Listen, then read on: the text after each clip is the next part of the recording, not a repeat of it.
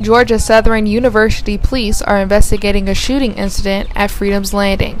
GSU police were called to the incident around 3:30 from a concerned resident. There's been a safety notification sent out to all Georgia Southern students because of a shooting that happened here, 13B and Freedom's Landing. Officials confirmed a man, identified as not a student, had been taken to the hospital for wounds. No foul play is suspected at this time, read a campus notification. Please avoid the area.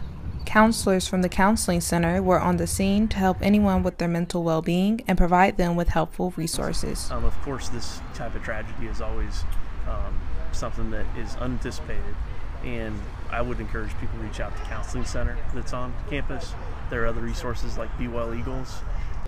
According to the GSU webpage, residents of student housing complex aren't allowed to bring firearms into campus residency but are allowed to leave them in their cars. For some students, it'll be hard to recover from something that happened so close to the place they call home. This just really hurts my heart and it really traumatizes me because I'm scared to sleep at night right now just knowing that this is going on. Like the shooting will be handed over to the GBI for further investigation.